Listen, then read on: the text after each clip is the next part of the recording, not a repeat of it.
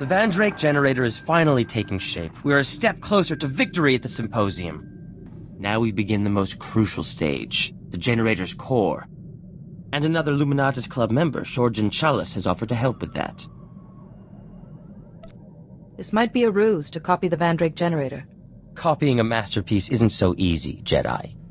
Shorjan wants to trade some exotech for components I need, but I left my juicier exotech artifacts back at my store. You'll pardon me if I take a brief trip home to make the trade? We shan't be away for long. Don't start gambling and end up too poor for a shuttle back. Hopefully Shorjan will have all the components I need. The Vandrake generator's core is crucial to this entire endeavor.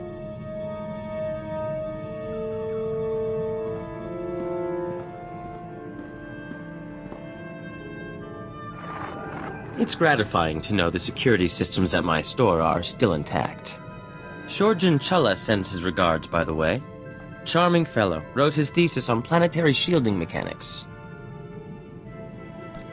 Remember, you'll be competing against him later at the symposium. Oh, I'd quite forgotten that. Still, Shorjan actually had some salient advice to offer.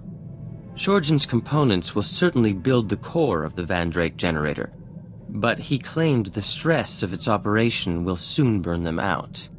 My Vandrake generator will work, but it will work for a minute at most, before it is destroyed forever.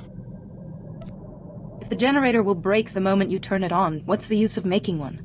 The Vandrake generator is an impossible machine, Jedi. To make an impossible machine work at all is a scientific marvel. A moment's operation should be enough to win the symposium. But after that... Forgive me, Jedi, I should double-check Shorjan's calculations. There may be something else I've overlooked.